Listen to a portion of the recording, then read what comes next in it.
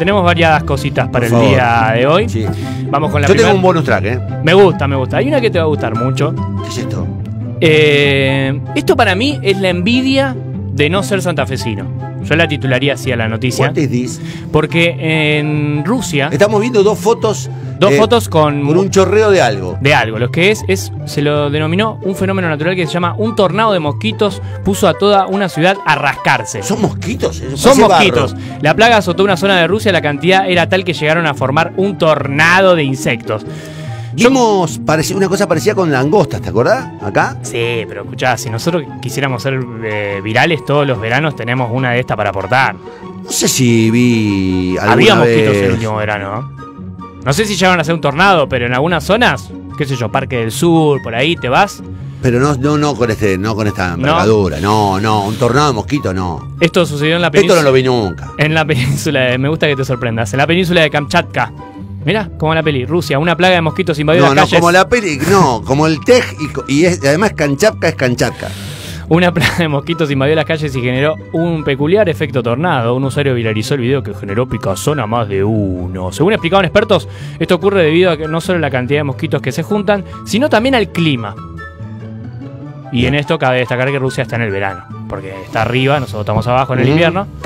Pero bueno, los rusos tienen mosquitos, quisieron hacerse virales, generaron un tornado y vos decís que esto no pasa en ningún lugar de acá. No sé, por lo menos yo no vi un tornado ¿Te de acuerdas mosquito. aquel video que se viralizó también en el, en el nuestro verano del 2021? Que era en el campo santafesino. Pero eran langostas. bueno, no llegaban a ser un tornado, pero era, Pero no, no, era he- grosso. Bueno, pero era eso, grosso. eso es heavy, es un fenómeno lamentablemente eh, habitual.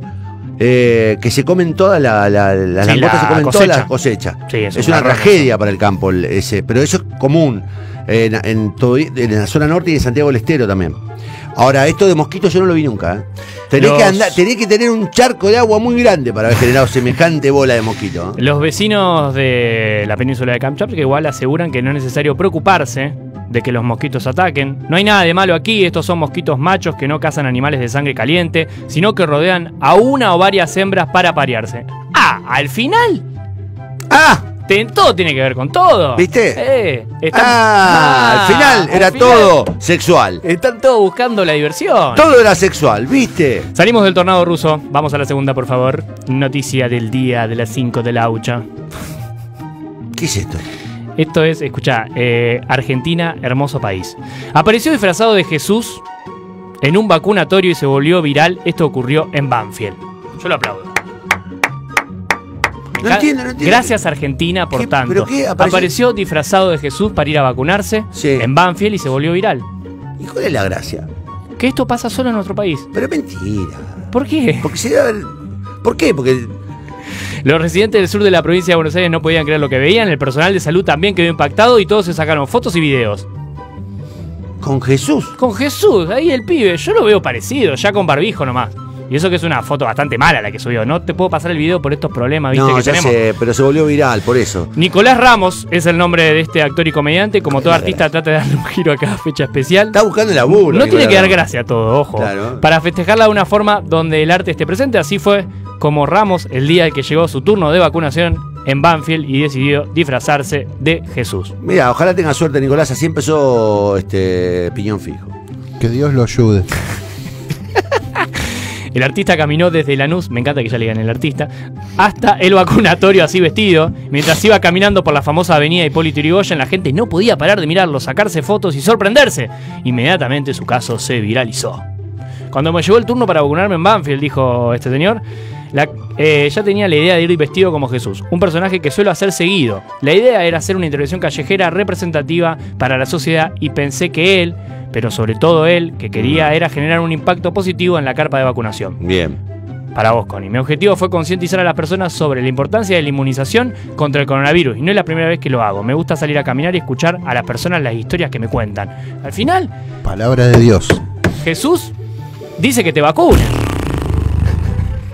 Mucho boludo. Hay mucho, boludo. Mucho Qué boludo país generoso, qué tiempo. país gente generoso. con tiempo libre, mucha gente. Gente Sí. queriendo ser famosa de Sí, toque. nada. ¿Quién dice famosa antes que nada? Vamos a la tercera noticia. porque- ¡Hagan mérito por algo! Este indignó, este indignó. ¿Qué es poquito. esto? Uy, abro, abro pestaña de debate. ¿Me Sí. seguís? Sí, cómo no. Bueno, Eh, Viste que acá tenemos un segmento que se llama Recultura. Sí, claro, lo encabeza Bueno. Luciano Lazzarini. La gente de Recultura está eh, todo el tiempo mandando cosas al comité de las 5 de Laucha. Sí. Ahora mandó algo que dijo, quiero formar parte de las 5 de hoy, ¿Y esto por favor, dame bola. Voy a intentar interpretar con vos qué nos quiso pasar. Te voy a leer el título. La Venus de Botticelli, Sí. centro de una polémica entre el Museo Italiano, eh, italiano y un sitio de contenido sexual. La demanda legal se decidió luego de que la página web de contenido sexual, Pornhub, que conocemos todos, lanzara la Yo no campaña... la conozco. ¿No conocés Pornhub? Por, ah, Pornhub. Pornhub, Hub, Pornhub, Pornhub, sí. sí. lanzara la campaña Classic Nudes, una guía interactiva sobre cuadros con desnudos presentes en los museos más importantes del mundo. Es decir, ponemos lo mejor de la cultura, los desnudos, Al servicio de la pornografía. al servicio de la pornografía. Y Recultura cree que este contenido es para las 5 de la Laucha. No entiendo. ¿Vos no lo aprobás? Sí, a ver, pero no entiendo cuál es. eh, cuál es la. ¿Cuál es el dato de, De color. de color? en Y bueno, esta- que agarraron, por ejemplo, la utilización del cuadro La Venus. ¿Cuál es el debate? No sé si hay debate. la Venus de la Galería de Florencia, uno de los principales museos de Italia, para una campaña publicitaria por parte del portal pornográfico Pornhub. Generó una polémica, ahí está, que llevó a ese museo a exigir legalmente a la plataforma que lo retire de su actividad de difusión. ver, pará, y acá hay un dato, Ah, acá hay un dato, acá hay un dato. ¿Quién habla en nombre de Botticelli? Eh, Porque, a ver, Recultura. No, bueno, sí, pero en nombre de Botticelli y de todos los que hicieron, eh, digamos, el nombre de Goya, el nombre Sí. de todos los que hicieron desnudos. Ajá. Eh, ¿Quién habla en nombre de los muertos cuando, por ejemplo, eh, un sitio. Y la gente que tiene sus derechos, ¿Qué ¿no? derecho tienen sobre la obra? El museo. ¿Pero qué? Y el Museo de Florencia. Pero que si es Italia. si vos te sacaste una foto, conseguiste una reproducción, anda que venga Andá la familia de Botticelli que venga a hacer un reclamo. Escuchá, la demanda legal se decidió luego de que la página web de contenido sexual Pornhub eh, lanzara la campaña Classic Nudes, como te estaba contando, una guía interactiva sobre cuadros con desnudos presentes en los loco, museos más además- importantes del mundo. Si te favorece a vos, porque la- lo- eh, todo el grupo de gente que consume pornografía va a querer ver las obras reales. Estoy bastante de Están lo que difundiendo decís. la- la- Están, difu- están difundiendo arte. Tu, arte y, vos te calentás, pero sos boludo. La- ¿Ves que la gente muy culta tiene problemas? Te digo esto para vos, Luciano Lazzarini. No, no, él nos Vos- tiró cosas para debatir ahí, nos tiró No, material. pero él debe ser lo que está en contra de que la nudez. Él va a demandar a Pornhub. Claro, él lo demandaría, Pojap. Digo, Esto no, no, esto no es rec, diría. Pornhub, escuchá, eh, mirá el argumento que tuvo. Invita a conocer 120 desnudos que Total, aparecen en loco. obras de arte clásicas de grandes museos y junto a las pinturas se suman pequeños podcasts. Mirá, es hermoso esto. Así como videos en los que intérpretes recrean dichas escenas con claro contenido erótico. Acá me apunta a Uber. Sí. Renacentista braguetero. Le pusieron calzoncillos a los desnudos del Dante. No jodan con eso. Claro. Basta, loco. Dejen de- Pasa- sean- dejemos libres a los desnudos. Eh, se le añade a todo esto que te acabo de contar una aplicación para ver las escenas más calientes de la historia. A mí me gusta la iniciativa. Está bien. Está bien. Como media. Pasa que, bueno, esos sectores de la cultura, allá elevados, eh, están en un lugar donde no se puede tocar, ¿no? No jodan con esto. Son cuadros que, que marcaron nuestra vida y la historia del arte. Da, basta. Eh, basta. Gracias. Recultura. Gracias, gracias, Gracias. Recultura. Nos Gracias. Lucho. Y queremos saber si vos estás en contra o a favor de Sí, que los a desnudos mí me, aparezcan en me Pornhub. gustaría saber, me gustaría Porque saber. eh, de, de modo voto te vamos a tratar. Vamos a la siguiente noticia, por favor. Por favor, sorteamos 10 motos con Movistar Prepago. Participa de tu primera recarga de 100 pesos. Sí. Y traes, eh, y si traes tu número a Movistar, tu número fijo, Sí. tenés doble chance. Quiero. Carga con Quiero. Movistar. Movistar Quiero siempre te da eso, más. Quiero todo eso, quiero todo eso. ¿Vos te dice el, el mono? Ah. ¿Cómo me gustan los monos? ¿Te te gustan lo que Me hacen? gustan, me A mí gustan. me gustan los estéreos. Ojo Bueno, al Te voy a contar la, la increíble historia de Kansi, un mono que puede hablar y tocó en el piano un tema de Paul McCartney. Déjenme de joder. Déjenme de joder. El chimpancé también interpretó junto a Peter Gabriel, a Peter Gabriel, así se dice, eh, un tema. Apa, ¿qué pasó? ¿Qué tiraste ahí? De Oprah Winfrey Show. Ah, hermoso, hermoso tema. El bonobo, co- también conocido como chimpancé pigmeo, conocido como chimpancé. Kansi, nació en Sí. 1980. Mirá, es grande. Sí, está en Estados Unidos, en Georgia. 40 años tiene. 41 años. 41, sí. Qué rápido sos para las sumas. Y es conocido por ser uno de los primates más inteligentes y famosos del mundo. Mirá, mueve las letritas y te va contando, te va diciendo cosas. Reside en un centro de investigación en el sureste de Atlanta. Puede usar símbolos abstractos para comunicarse con la gente y entiende algunas palabras habladas. Los científicos sugieren que tiene más destreza que cualquier otro bonobo y lo eh, plasmó interpretando un tema de Paul McCartney. Creer, Bien o, re- el mono. creer o reventar, creer o Me encantan los monos estos. Pero de mira- hecho, mi perra se llama Mona y tengo. tengo porque se parece ¿Nunca tuviste un mono vos? Me llevaron una vez un mono, te conté. Formosa. Un tarado. Escuchá esto. ¿Quién te y vos Escuchá, dándole bola? un vecino. dándole escuchá, escuchá, pobrecito, ese bicho se murió en mi casa a las 24 horas. Sí. Me llevaron un mono. Un tipo creyó que era un regalo un mono. Que era bueno. Compró un mono a la ruta. Un mono salvaje, de esos chiquititos. Y lo llevó en una jaula a la. a- me lo trajo en una jaula y los trajo de regalo. Teníamos perros nosotros en la casa de mi viejo. ¿Qué hace Yo este mono acá? Mirá, fue muy gracioso, fue una anécdota muy graciosa. El mono estaba en una jaula y estaba estresado, ¿viste? Porque pobrecito, él era un ¿Por qué no animal. Bueno, Tocaste un tema. no, pero escucha, escucha. Yo estaba estudiando una de las mi, mi últimas materias de Derecho. Sí. Y estaba mi abuelo en- con vida, eh, mi abuelo Ángel. Eh, y era una situación muy tensa porque teníamos el mono que hacía. En la, en la jaula estaba estresado. Entonces un amigo mío, mi compañero de estudio, le- eh, tuvo una idea. Vamos a sacarlo un ratito a ver si se desestresa. Y en un momento cuando le abrimos la jaula, Chao. el mono entró a correr por adentro de la casa. No, qué Pará. despelote. Y la pieza de mi abuelo tenía dos puertas, una entrada y una salida, no era una, una puerta única. Y en un momento el mono se escapó y pasó por delante de la, de la cama de mi No, abuelo. no, no. Y mi abuelo miró, yo creo que creyó que era efecto de su Atónito. medicación. Estaba en cama, estaba, eh, viste. Y nosotros pasábamos persiguiendo al mono. Y atrás de nosotros venían las perras. Ah, listo, una, una jungla era eso. No, no, pobrecito ese bicho. Lo encerramos de vuelta en la, en la, en la jaula y le pusimos agua porque dijimos, tiene sed. Pues que se murió de frío a la noche porque se le volcó el agua, se le volcó el agua y se murió con, de hipotermia y tensión. Pero el tarado ese que No, nos trajo el re yo digo, ¿cómo lo van a traer? Sí. No, volvamos a Kansi. No sabe lo que fue enterrar el mono. Volvamos a Kansi que tiene un impresionante currículum que lo ha catapultado a la fama entre los simios. Tocó con Peter Gabriel y Paul McCartney, interactuó con Anderson Cooper de la CNN, que no sé quién es. ¿Vos lo ubicás? Anderson Cooper de la No, CNN. no tengo la más. y apareció en The Ofra Weaver Show. Y esta noticia la remata un gran chiste que lo hizo Peter Gabriel, que le dijo al mono Kansi, le pedí que solo tocara con las notas blancas porque yo tocaba la menor. Mira vos. No lo calaste, pero bueno, vamos No, a la última no, no, noticia. dale, dale, dale. Última noticia. Uy, esta te va a indignar. ¿Quién es?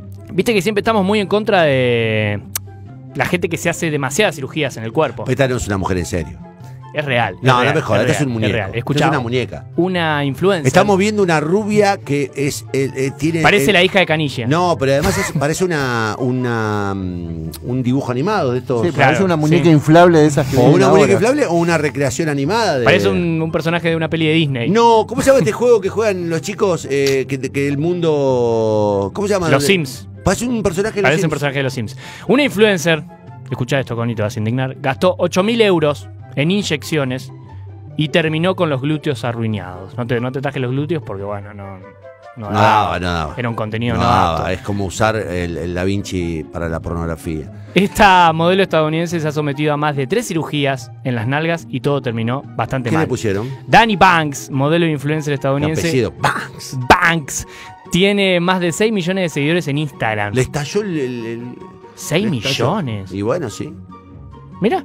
Eh, Por ahí compa- es mentira, porque esto no sabemos si es verdad. Buscala. Danny Banks, con KS final. Eh, compartió en el programa Chapuzas Estéticas las desastrosas consecuencias de unas inyecciones de dudosa calidad que se puso en sus glúteos. Dani, querete como sos. Querete como sos. Querete como sos. Eh, 8.000 euros te vas a gastar. yo siempre pienso que estas generaciones, a estas generaciones le faltan Charlie García. De verdad. Siempre decís lo mismo cuando hablamos No, de pero sí, loco, porque digo, de verdad. Pónganse las pilas. Charlie escribió aquella increíble canción que decía. Mirá cómo "Bancate ese quedó, defecto". solo a vos te lo No, muestro. no, qué feo. ¿Viste cómo quedó? Qué feo ese culo. Pero escuchá, eh, Charlie García escribió una canción que a mí, por lo menos, me sirvió como, como línea de perspectiva de vida. Y creo que a mi generación también, que fue bancate ese defecto. Bancate ese defecto, ¿Eh? che. Bancate Bancate como sos. Tengo un comunicado de Recultura. ¡Opa! ¡Opa, opa, opa! Con esto terminan las 5 de la lucha. No sé si vos querés un agregar algo. track, que bueno, es política, pero, pero entra acá, me parece. sí. Eh, ¿Qué dice Red Cultura? Me fue encanta. todo lo contrario, amigos. Yo bancaba a Pornhub ¡Vamos! contra Uffizi. ¿Viste? Él, ¿Por qué la- él siempre apoya la difusión del arte? Claro, eh, nos alegra, porque si vos estabas en contra de lo de Pornhub, nos ibas a poner muy nerviosos, ¿eh? Muy nerviosos. Así que nos alegra. Espero Bien. que no haya sido una maniobra después de, de- de ver nuestro pensamiento. No, Para no, no. adaptarte, ¿no? No haya sido un proceso de. Para nada, para nada. Gracias por los aportes, Recultura. Bueno, eh, todo el mundo está hablando de lo que voy a poner, no es una novedad, no es, eh, un, no, no es una cosa llamativa desde el punto de vista informativo. Yo capaz que no lo sé. Eh, uh, mirá lo que me trajiste. Cora.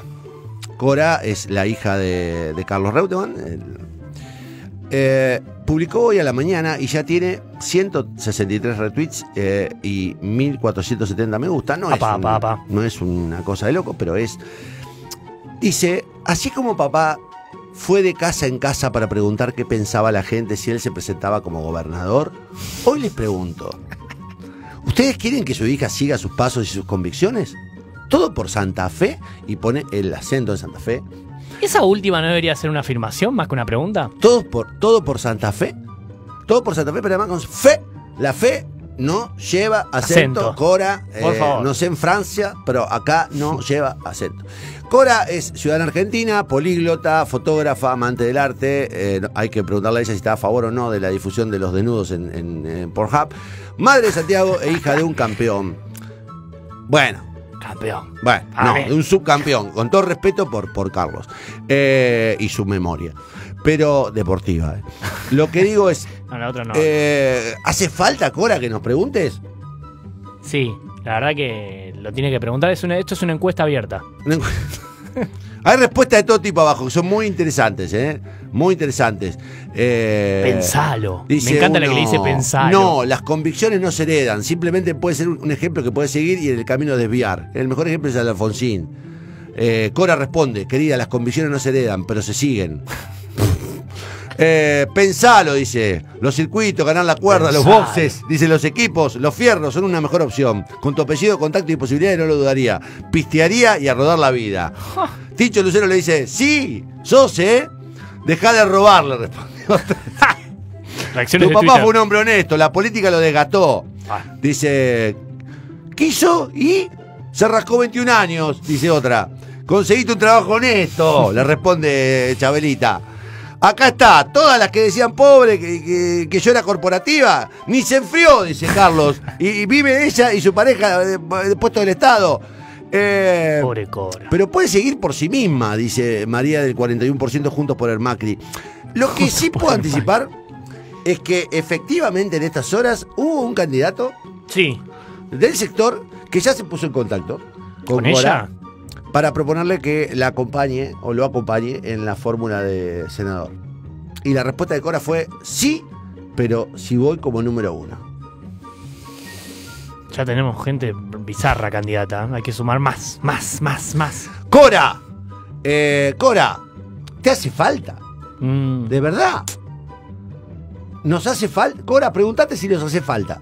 Pregúntatelo vos, no en Twitter. Pregúntatelo vos, Cora. Nosotros eh, te dejamos reflexionar. Uber nos deja un gran mensaje. ¿Qué dice? Sobre las 5 de la 8. Dice: Renacentista braguetero, le pusieron calzoncillos Sí, a sí, los lo desnudos. Ah, lo leíste vos, mirá. Sí, sí, ya me perdí. leí, Pasa que lo de Cora leí. me perdió. me No, lo, lo de Cora fue. Lo de Cora fue muy impactante porque.